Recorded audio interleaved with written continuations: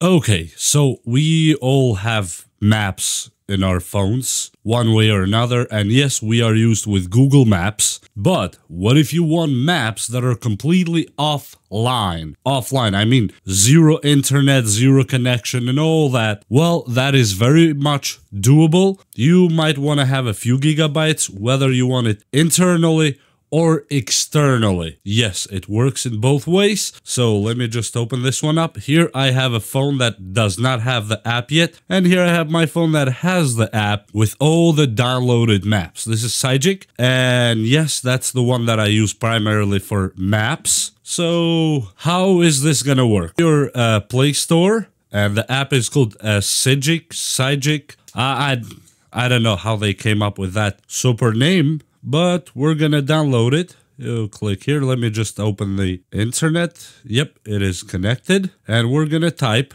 Sygic or Sygic, just like that. And it is this app right here. Let me put the light higher. This is the app. Hit install and wait for it to finish installing. Meanwhile, I have the pro version on my main phone, but here we're gonna do the free version. Yes, you can have all those maps for free. Now, what I have kind of extra with uh, with this version, I'm gonna walk you through just in a second. But first, let's install this one and open it. When you open, you can sign up if you want to, but it's kind of pointless unless you want to switch it to a different phone.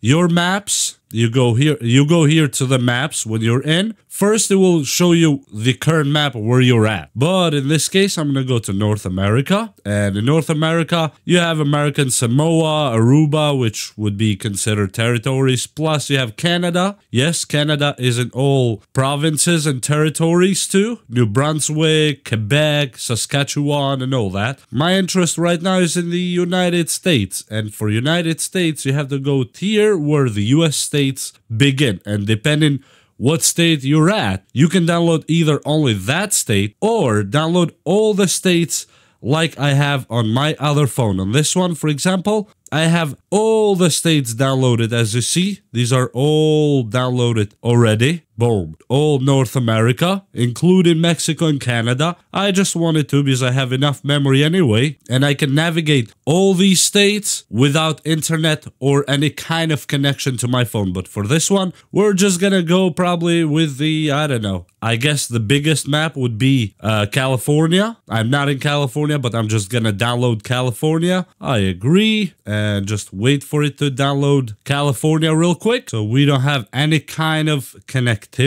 right now at all. We just downloaded the map of California. I suggest either get an SD card or have enough memory in your phone so you can download the entire country. It's a few gigabytes, but it's worth it. And as you see, it's giving us a preview route of where we are going from California point A to point B in this case. And boom. Yeah. And it is just following this one. You can click here. You have other options, extra feature, cancel route, quick settings. You can turn the sound off.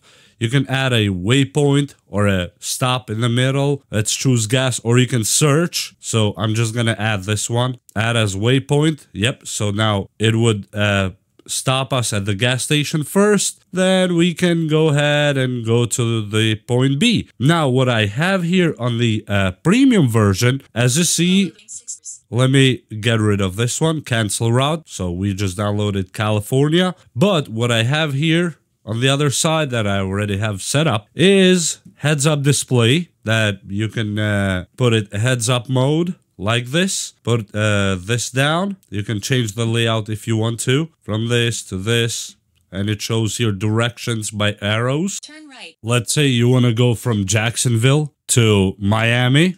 Just, you know, one of those trips, right? And you go here. You have the uh, extra features. Right here, you can have heads-up display for example. And now heads up display is on. It's telling us to turn left on a half mile. And as I told you, you can change this here. You can change the layout to make you can make it this way or this way. Usually I like it this way. Okay.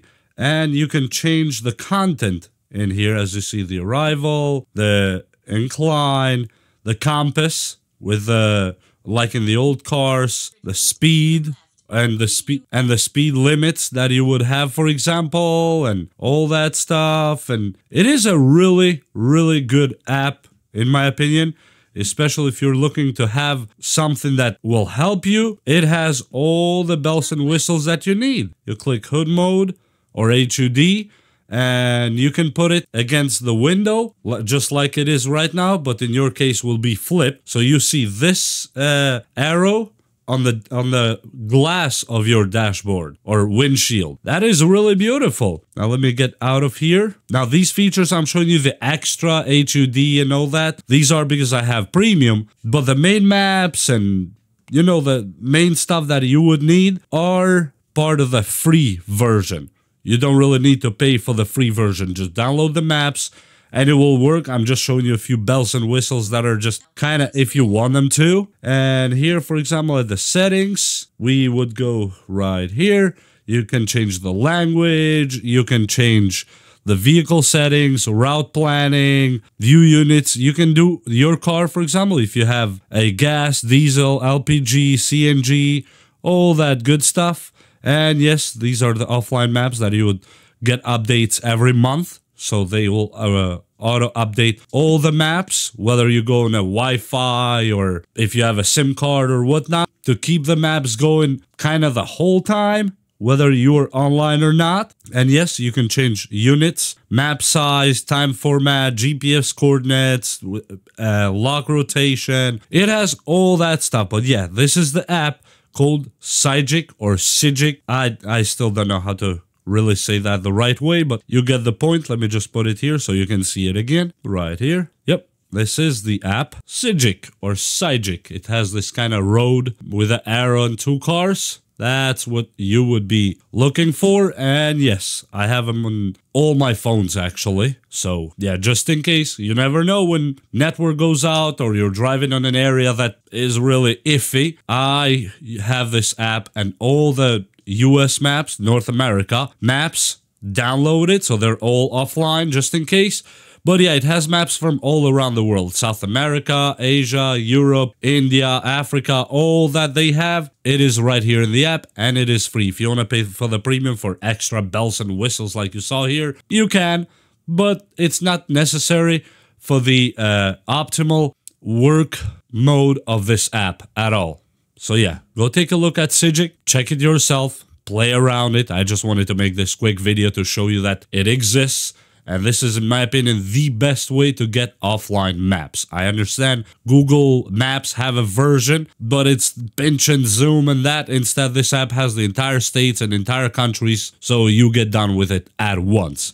And with that said, share this video with somebody that you think might need it or benefit from it. And I hope you enjoyed it. Hit like and subscribe, and we'll see you next time. Bye!